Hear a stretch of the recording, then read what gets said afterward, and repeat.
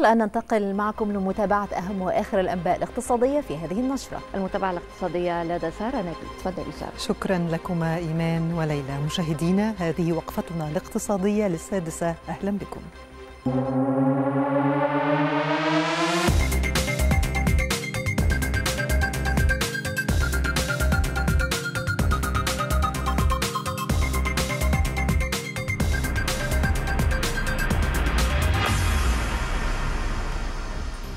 أكد رئيس هيئة الاستثمار والمناطق الحرة حسام هيبة أن مصر احتلت المرتبة الأولى إفريقيا من حيث قيمة الاستثمارات الأجنبية المباشرة الوافدة في عام 2022 وخلال كلمته أمام منتدى الأعمال والاستثمار الذي نظمته سفارة مصر ببكين استعرض رئيس هيئة الاستثمار الحوافز الاستثمارية التي تقدمها مصر للشركات الأجنبية لا سيما في عدد من الصناعات الحيوية وإنتاج الطاقة والهيدروجين الأخضر. شارك في المنتدى أكثر من 120 من ممثلي الشركات والمؤسسات والبنوك الصينية ومجتمعات الأعمال الذين أعربوا عن ترحيبهم بضخ المزيد من الاستثمارات في مصر والاستفادة مما توفره من حوافز ومناخ ملائم للاستثمار.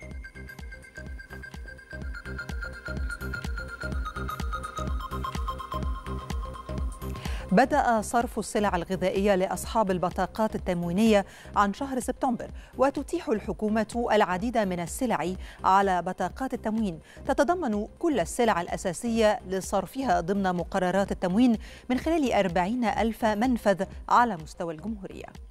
استعدادات كبيرة أنهتها الدولة لبدء صرف السلع التموينية لشهر سبتمبر حيث أقبل المواطنون على هذا المنفذ بمحافظة الجيزة والذي يأتي ضمن أربعين ألف منفذ على مستوى الجمهورية وسط متابعة ورقابة من وزارة التموين لتسهيل عملية الصرف والتأكد من توافر كل السلع. بأن يتم وضع خطة مسبقة للمراقبة على السوق ومتابعة صرف السلع التموينية للمواطنين على مدار الشهر. يعني عندنا تواجد في الشارع على مدار اليوم. عندنا حملاتنا النهارده كلها عندنا ما يقرب من 23 حملة على مستوى محافظة الجيزة.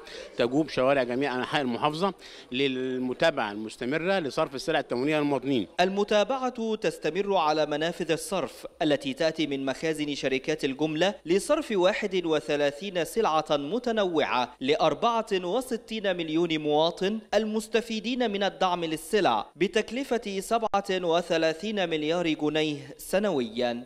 الجيزة فيها 2500 تاجر فيها حوالي 2 مليون بطاقة. من الساعة 9 الصبح المواطن بينزل بيلاقي بضاعته على مستوى الجيزة كلها. السيستم بيفتح من 9 الصبح. كل المنافذ شغالة كل 31 سلعة متوفرة.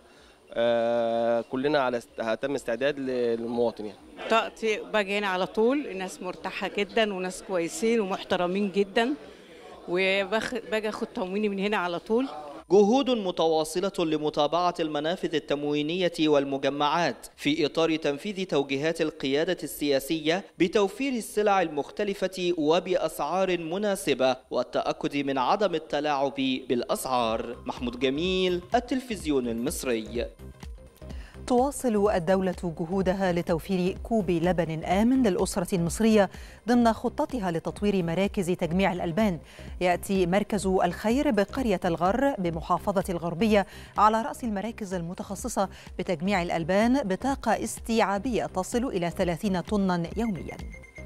من أجل كوب لبن آمن يتواصل تنفيذ المبادرة الرئاسية لتطوير مراكز تجميع الألبان على مستوى الدولة. ومن بين تلك المراكز مركز الخير بقرية أبو الغر بمركز كفر الزيات بمحافظة الغربية والذي تم تصميمه وتنفيذه على مساحة 400 متر تقريبا واجتياز اختبارات التقييم لشهادة الهايبر والأيزو وذلك بطاقة استيعابية تقدر ب 30 طن يوميا. إحنا هنا في المعمل طبعا لازم عند استلام الألبان اللبن بيمر بمراحل معينة بنبتديها هنا من خلال المعمل ومن خلال التحاليل. طبعا بنخش الأول نحلل اللبن من المضادات الحيوية ومن التهابات الضرع ومن الفات والبروتين. المبادرة الرئاسية تهدف إلى العناية بإنتاج وتصنيع الألبان والارتقاء بجودتها لإمداد المستهلك بالألبان ومنتجاتها بشكل نظيف صالح للاستهلاك الآدمي خالية من كافة أنواع المسببات المرضية.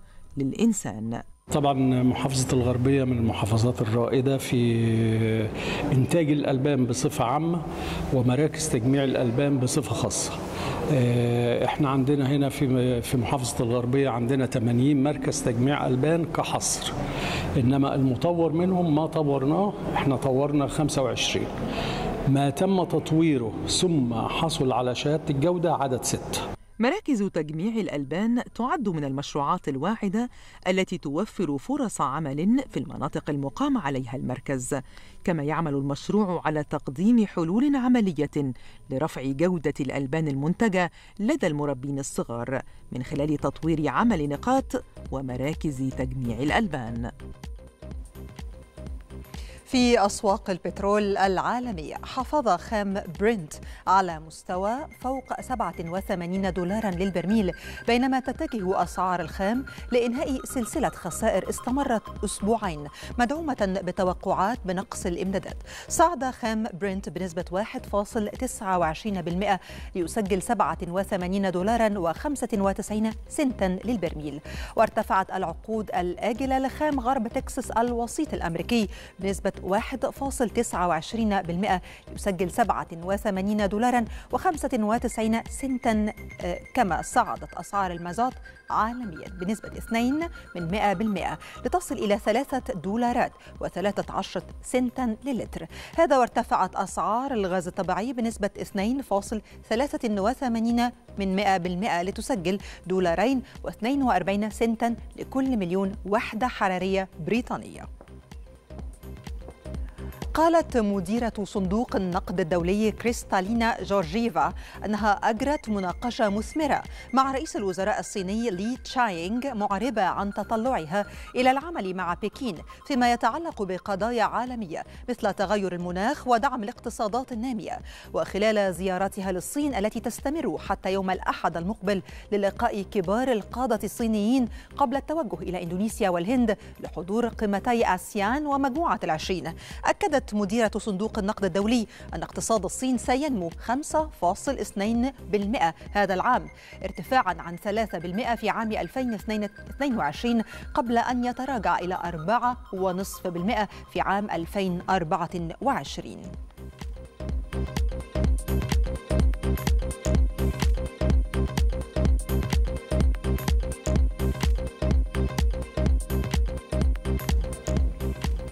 نهاية جولتنا الاقتصادية للسادسة والآن عودة من جديد إلى إيمان وليلى إليكم. شكرا لك سارة